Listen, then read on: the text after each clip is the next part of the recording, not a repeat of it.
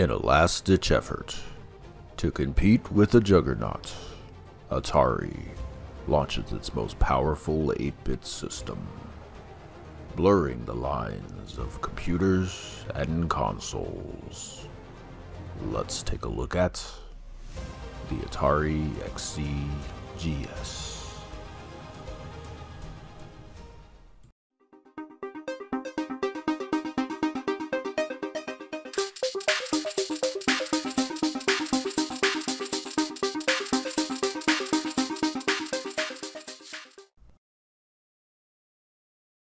Up, guys? Retro Gamer Gen X here, and welcome back to another episode of A Look At. And in today's A Look At, we'll be checking out the Atari XE game system, or the Atari XE GS.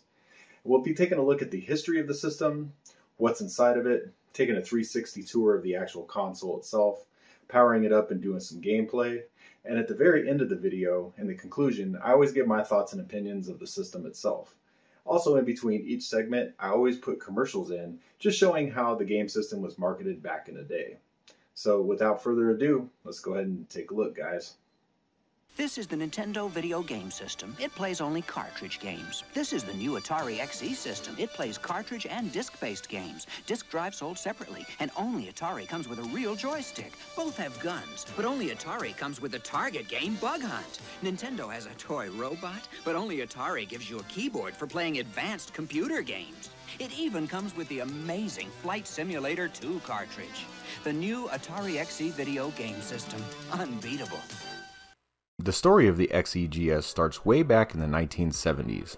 Nolan Bushnell had sold Atari to Time Warner Communications in 1976 to help pull Atari out of its financial bind. In 1977, Atari started development of a new 8 bit game console. As popular as the Atari 2600 was, it was underpowered, and Atari knew this. The top executives at Atari saw how successful the personal computer market was becoming with the release of the Commodore PET, Apple II, and the TRS 80. In fact, 1977 is known as the year of the personal computer because of this. The top brass at Atari took the technology from the 8 bit game system that was being developed and turned it into the Atari 8 bit line of computers, the 400 and the 800. Nolan Bushnell and most of the engineers at Atari saw this as bad marketing and started to leave Atari at this point. Fast forward a few years to the early 1980s. Atari now had competition in the video game console market with the Intellivision and the ColecoVision, and they knew they had to come up with a system that had arcade quality graphics and sound.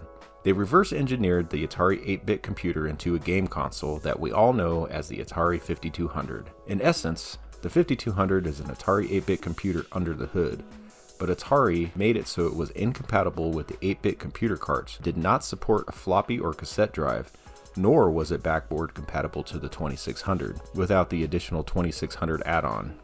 Along with the horrible analog controllers and the same arcade ports that were already on the 2600, consumers just didn't buy the system. It was right about this time in 1983 that the video game crash started, diminishing the video game market and making it unprofitable. A lot of companies pulled out of the market, and Time Warner was no different. In 1984, they sold Atari to former Commodore president Jack Tramiel. When Jack took over the company, his primary focus was on computers. He even shelved the then completed Atari 7800 game console because he thought releasing it after the crash would be unprofitable.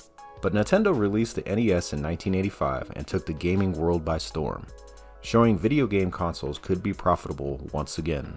In 1986, Atari then released the 7800, but it was too late to compete with Nintendo and another new competitor, Sega. After seeing that the 7800 was not going to be the success they thought it would be, Atari had to come up with something quick to try to compete in the market. They went back to the hybrid console computer idea that they had with the 5200, but this time it would be compatible with the 8 bit carts, support drives, and have a keyboard, light gun, and even have BASIC on the ROM. It was marketed as a video game console that could be expanded to a full blown computer. So Atari started development of the Atari XE-GS. The XE-GS is really a redesigned Atari 65 XE computer that was made to be a standalone video game console. The system was as powerful, if not more powerful, than either the NES or the Sega Master System. Atari thought they had a hit on their hands. The shell of the system was designed to fit the times a radical case and fluorescent colored buttons, along with the Buck Rogers styled light gun. It also had a redesigned detachable full QWERTY keyboard. But the reality of the system is far different than what it appeared. Atari made these systems as cheap as they could to get rid of the 8 bit component inventory, getting ready to discontinue the 8 bit computer systems, making way for the 16 bit line of ST computers. These systems are plagued with issues because of this. From failing system ROMs, cold solder joints, bad RAM, and MMU issues, the system was starting to get a bad reputation. Initial sales of the unit looked good, selling out of the 100,000 units that they made during the Christmas season, but sales slumped afterward as the build quality issues started to pop up. Also, by this time, most people already had an NES or a Sega Master System. Atari supported the XEGS until 1992 when it was discontinued with the 2600, 7800, and the Atari 8 bit line of computers. The Atari XEGS had a five year lifespan from 1987 to 1992. It sold over 100,000 units and is considered to be the last 8 bit computer Atari produced. Or was it a console? You guys be the judge. The Atari XE. Two systems in one for twice the fun. With the Atari XE game system, I can experience all the excitement and challenge of the arcades and the real life action of sports. Or I can use the Atari XE as a computer to help me with my homework. Two systems in one for twice the fun. The Atari XE. And now Atari will give you a $50 rebate on your XE system, making your cost under $100. System includes console, keyboard, joystick, light gun, and three software programs. Great games! Helpful computer applications. See your Atari dealer for details today. Now let's take a look at what's inside of the XEGS.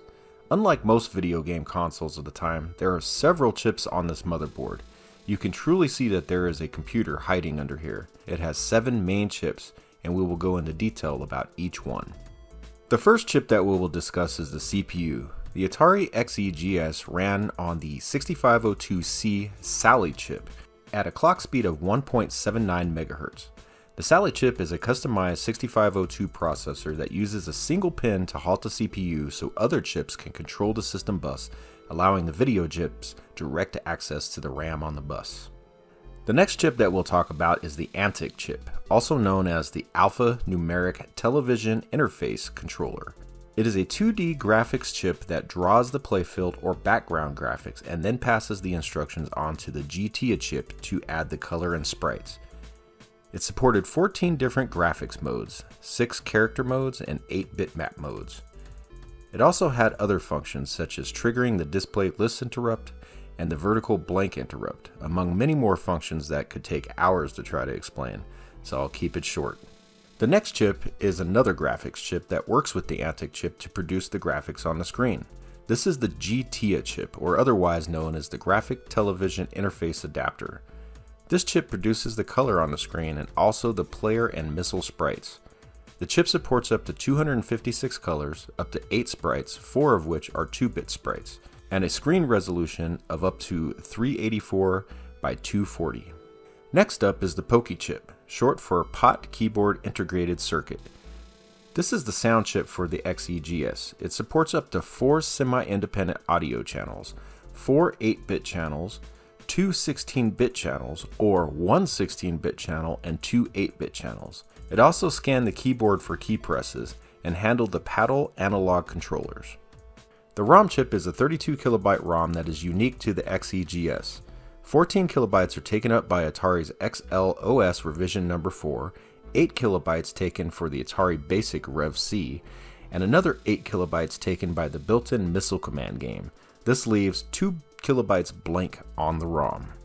The XEGS had 64 kilobytes of RAM. It had two TMS 4464 64K by 4 bit RAM chips totaling 64 kilobytes of system RAM.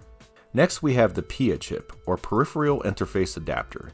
This chip is an I.O. chip that was primarily used to read the joystick. It also controlled the SIO ports used for drives and printers. This is the Freddy chip. No, not the annoying YouTuber or the child killer.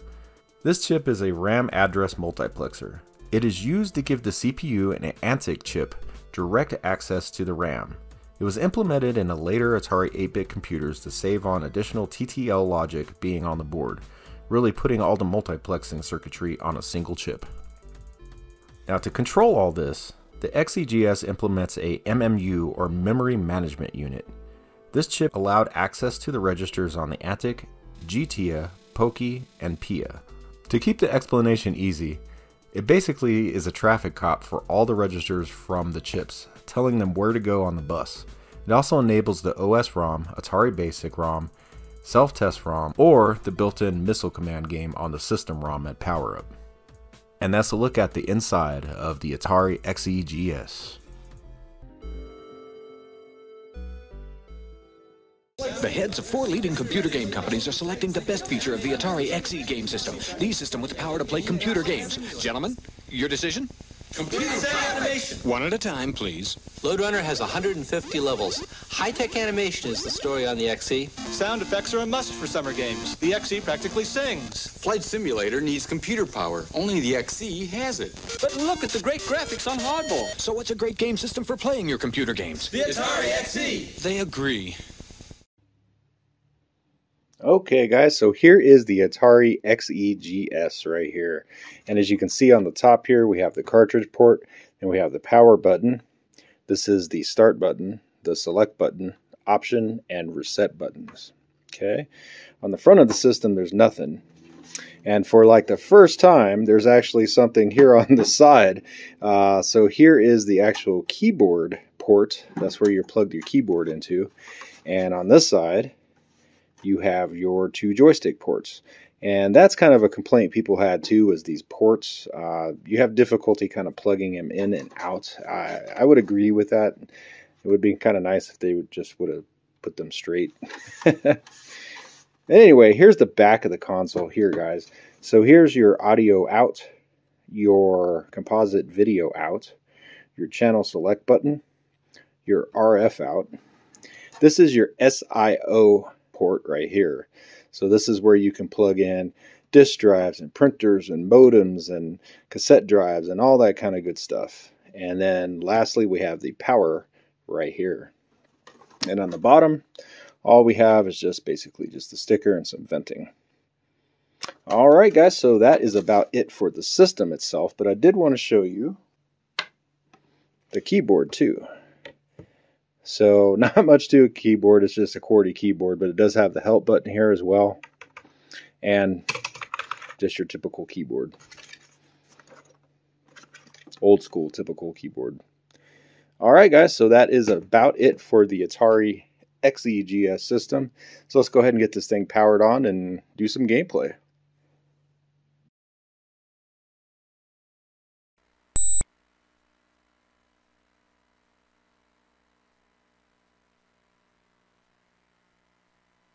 Beep.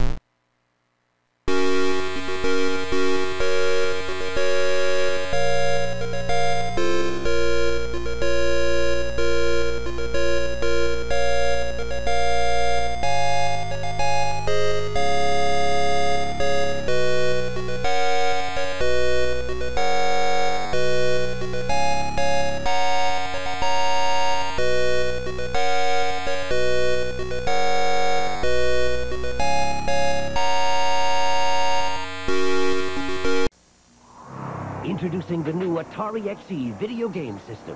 The only game system that teaches you to fly. It comes with Flight Simulator 2 and a keyboard to play many advanced computer games. But that's not all.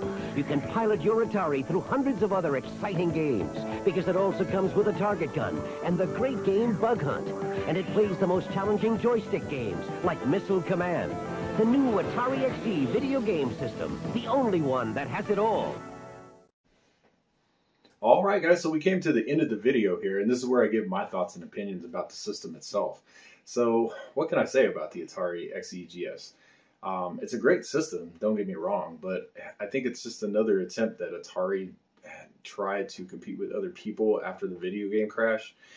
This is a system that they really should have came out with back in 1982 instead of the Atari 5200, making it basically backward compatible towards all the other 8-bit systems and to where you could make it into a computer.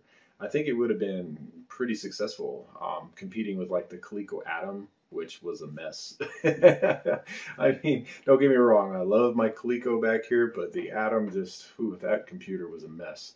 Uh, with the build qualities and everything, just just kind of horrible. And that kind of takes us to the Atari uh, XE uh, GS as well, as far as its build quality issues. Um, this system here, I have worked on more times than any other of the systems that I have in my collection as far as keeping it running. Uh, just the other day, um, the cartridges weren't loading and it was cold solder joints on the cartridge port. I should have filmed that and put it on YouTube, but it was just a quick fix. Took it apart and took less than 10 minutes. So I didn't really feel like filming that. but uh, yeah, I mean, it just had some build quality issues, um, honestly. Uh, but the system itself is really probably one of the best Atari 8 bit systems that came out. I mean, it really was the 65 XE, um, which is the last official uh, computer that came out because, like I said, Atari kind of marketed this more as a game console slash computer. So I don't know whether to call this the last 8 bit computer because technically it really is because that's what this thing is. Um, but you guys decide on that. But uh, really, like I said, I didn't, I didn't really know about this system. I remember the commercials back in the day, but very vaguely. And um, it wasn't until probably about 2010 when I saw there was like a, an eBay lot. This guy had like a whole pallet full of these things just in the boxes, and I ended up getting one then. Um, it was a box system.